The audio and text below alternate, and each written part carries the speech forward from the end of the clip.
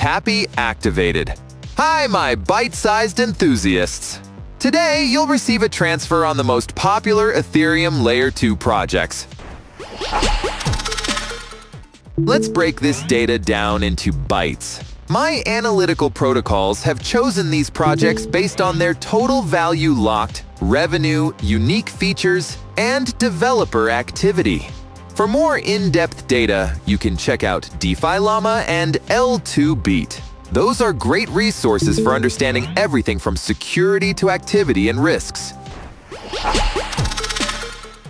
So, the first data influx, Arbitrum. It offers faster, cheaper transactions while retaining Ethereum's security. Its main feature, Arbitrum Rollup, is an optimistic rollup protocol. It processes transactions off-chain and only sends proofs to Ethereum for verification.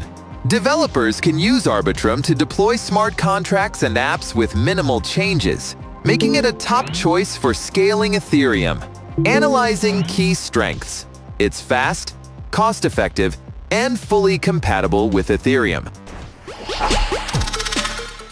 Optimism's OP mainnet scales Ethereum with a straightforward approach. Its design ensures that any Ethereum app works here seamlessly, but at a fraction of the cost. This makes it attractive to developers looking for scalability without compromising Ethereum compatibility.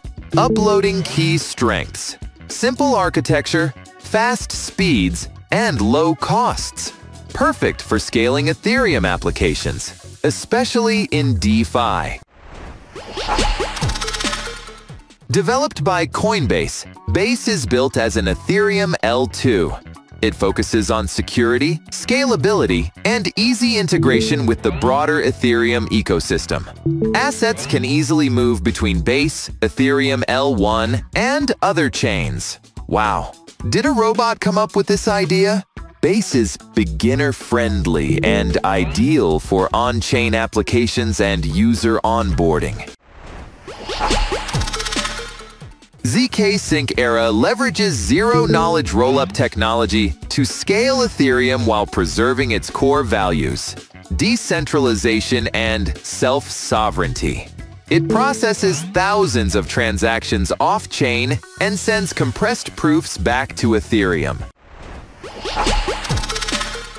Take your time to process this data. Tappy deactivated.